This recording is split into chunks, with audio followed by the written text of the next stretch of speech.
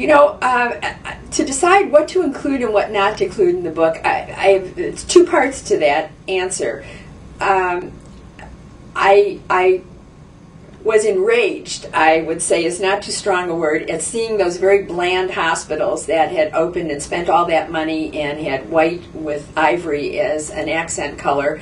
And uh, where in one of those major hospitals, the maternity unit did not look any different than the standard med surg unit. And I, I, I couldn't believe it. There was nothing that cued that this is where babies are born to celebrate that event.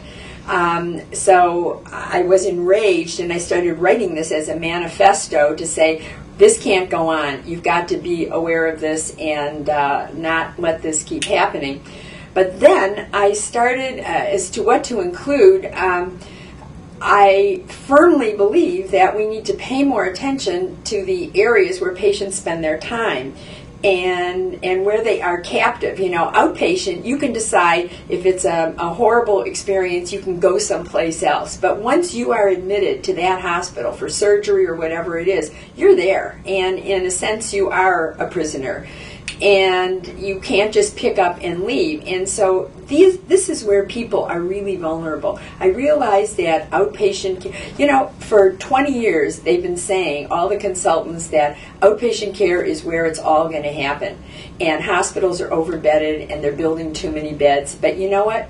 That hasn't proven to be true. I mean, they're still saying now, 20 years later, outpatient is where it's all going to happen. And, um, and it's going to happen in the home. But we still have a need for hospitals, and every hospital is increasing, not decreasing, the number of beds that they had planned to build. So um, I wanted to put my focus where it really um, had the most impact, and that is acute care. And specifically the areas where patients spend their time. So that would be cancer care, that would be diagnostics, procedures, um, inpatient, there's a very large section of the book on inpatient uh, unit design.